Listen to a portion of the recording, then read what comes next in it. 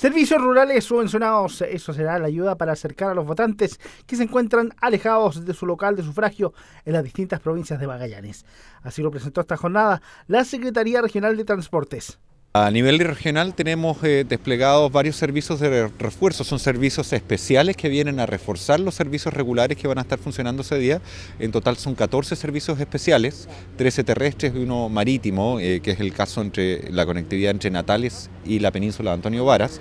y los otros 13 terrestres van a reforzar distintas partes del territorio, se suman a los 22 contratos que tenemos de servicio rural regulares, en total 35 servicios van a estar funcionando el día domingo en las elecciones. En esa línea se busca mantener la alta participación de los votantes para los presentes comicios que se realizarán este fin de semana.